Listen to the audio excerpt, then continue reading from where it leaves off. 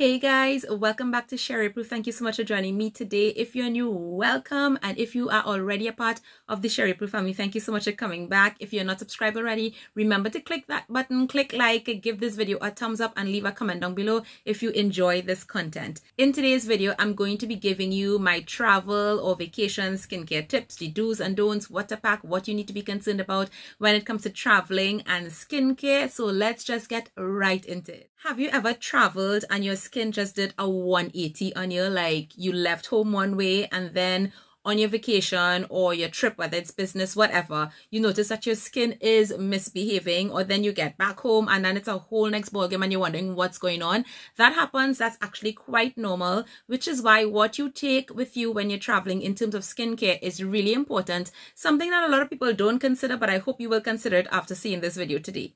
There are several reasons why our skin behavior will change when we travel. So one of the main things is because there might be a change of environment or climate. So let's say you live in a tropical country like me, but then you're traveling to a more temperate country or where there is probably winter or cooler seasons, your skin will definitely behave differently. And the same is true if you're moving from a probably temperate climate and you're going to a tropical Caribbean island to have a vacation or for a business trip, the same thing can happen the humidity in the environment that you're traveling to, especially if it's different from the humidity that your skin is usually accustomed to, can cause your skin to behave differently and all kinds of things could happen. Then something as simple as the actual trip. So if you're taking a flight, especially if it's a long flight, you're dealing with a lot of artificial air circulation systems in a plane. Then sometimes if you're moving from airport to airport or different places, you could be moving from dry heat to air conditioning to humidity. So there are a lot of things that your skin is actually facing and dealing with in a short period of time.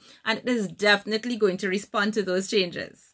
Let's not forget that there sometimes is stress when it comes to traveling, right? So things happen on your trip and that stress can trigger particular reactions in the skin. So some people who probably never get breakouts at all may notice that they break out or probably if your rosacea or your psoriasis is stress triggered, you may notice that all the time your skin was good and suddenly your skin is acting up on this trip.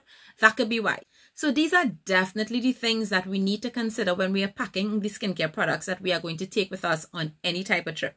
So just keep in mind before we goes into some of the do's and don'ts and the tips that I use and that I want to share with you today, one of the things you need to consider, especially with regards to climate. So let's say that you're going to probably somewhere that's more tropical or more humid. You may want to consider changing your products, especially if you're coming from a temperate climate to more lightweight products. I see a lot of people, especially when they go into vacation in a tropical island, they will probably get a new moisturizer, a new sunscreen because they know that the products that they used to may be too heavy for the climate that they are going too, and vice versa. Somebody like me with more oily skin in the tropical climate in which I live, when I go to temperate countries or places where the humidity is way less, my skin is actually a lot drier. It does not produce as much oil and therefore I need to probably work with more occlusive products. So now that we know we need to be a bit mindful when we're packing our skincare to travel, does that mean that you need to take a whole nine yards or the whole 10, 12, 15 steps that you do, aka me? I know that some of you are not like that. So, you know, you might be saying, well, you know, Sheri, it's just two things I use. I just need to pack those two things. And that's great.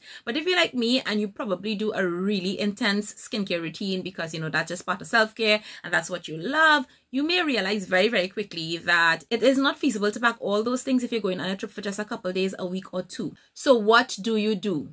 The first thing I want you to know is that you should absolutely pack your basics. And when I say the basics, I'm talking about your cleanser, your moisturizer, and your SPF.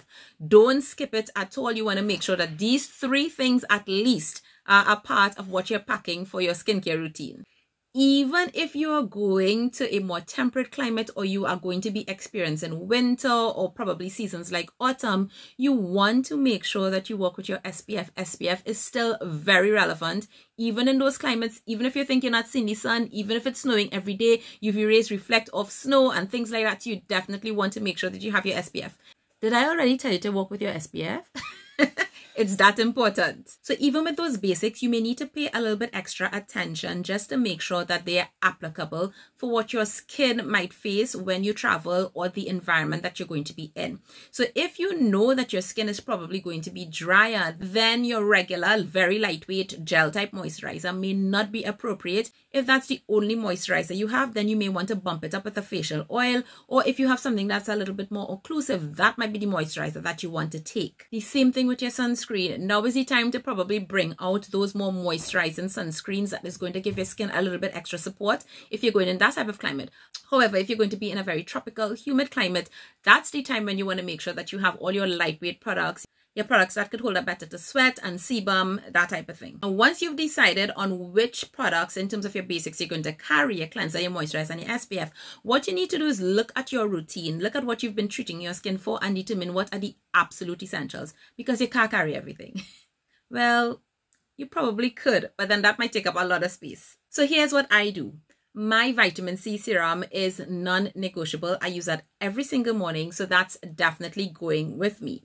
For night, my routine is usually focused on an alternation of exfoliation, my acids, my AHAs and BHAs, and then my retinoids. So I may not want to carry all of that. So what I will do is I will do an exfoliating or more intensive peel a couple days before I leave on my trip. So that way I don't need to work with exfoliants. My skin will be able to hold out in terms of exfoliation for the period and I will carry my retinoid.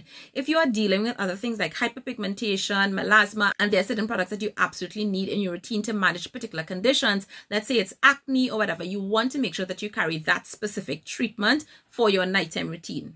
Now, of course, if you can get travel sizes or sample sizes of the products that you use, then that's going to be ideal. You could carry as many things as you want, but that might not always be possible, and it may not always be possible to transfer everything to travel size containers. The things that I will transfer are things like my cleanser and my moisturizers because those tend to be bulkier products and I definitely don't need all of that. So I do have a travel set in terms of bottles that are appropriate in terms of the size for traveling and I will transfer cleanser and moisturizer into those types of containers. The things that I absolutely don't transfer and I don't recommend transferring are serums, especially if they are actives because they are not only formulated in a particular way but they are packaged in a particular particular way to preserve the integrity of the product. And you really don't want to be messing with the effectiveness of your serums or causing some type of issue with them. Now, of course, you can get those plastic travel bottles, but something else that's actually very useful for your skincare products are those contact lenses cases. Those are really good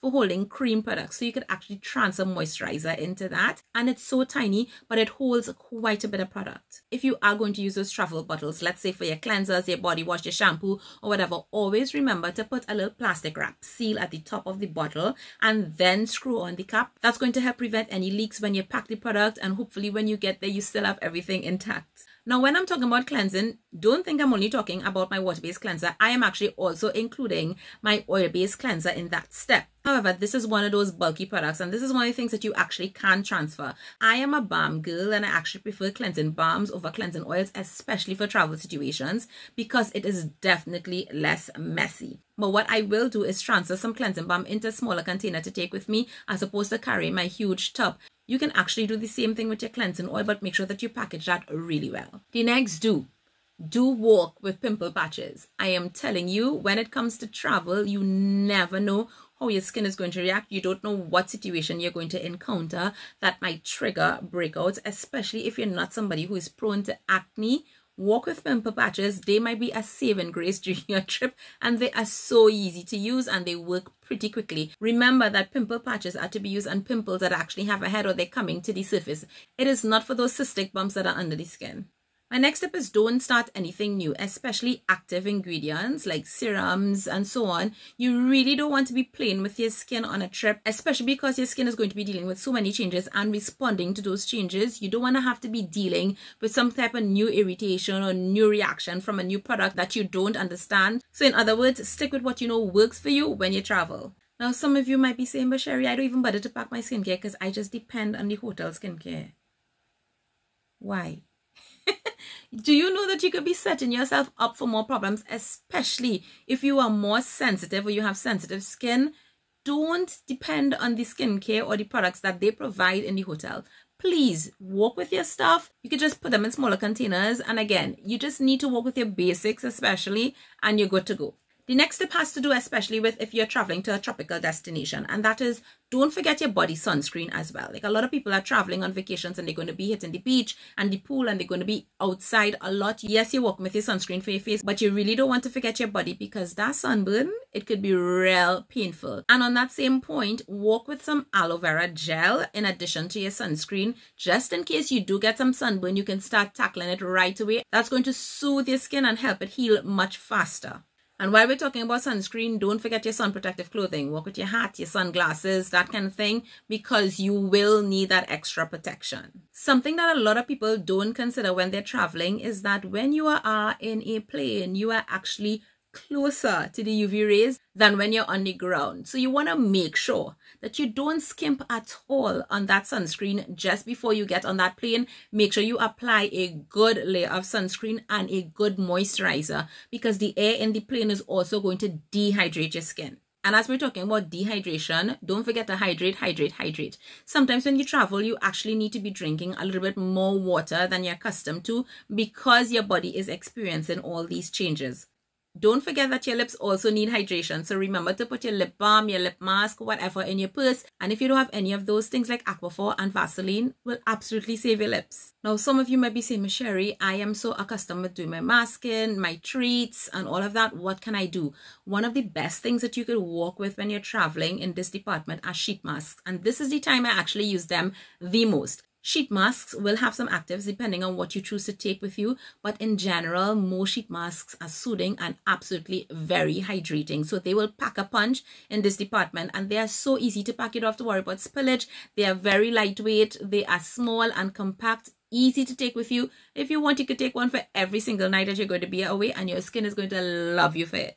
And finally, you don't hear me talk about makeup wipes at all on this channel but this is the only time I will have makeup wipes with me well most times I actually put baby wipes and that's just in case of an emergency I keep that with me in terms of skincare in my carry-on just in case there is some delay or something happening where I need to be able to remove makeup or remove what's on my face or something like that, I will have baby wipes. And that's the emergency purposes only. This is not something that I do all the time. But in this case, it's actually better than nothing. Guys, that's the end of today's video. I hope that these tips were helpful. What do you do when you're traveling? What do you pack in terms of skincare? I'd love to hear about it in the comments down below. Do you take your whole shindig? Do you just take the basics? Do you carry everything in full bottles? Do you try to repackage everything? Definitely hit the like button, leave a comment down below, and I'll see you guys another time. Take care.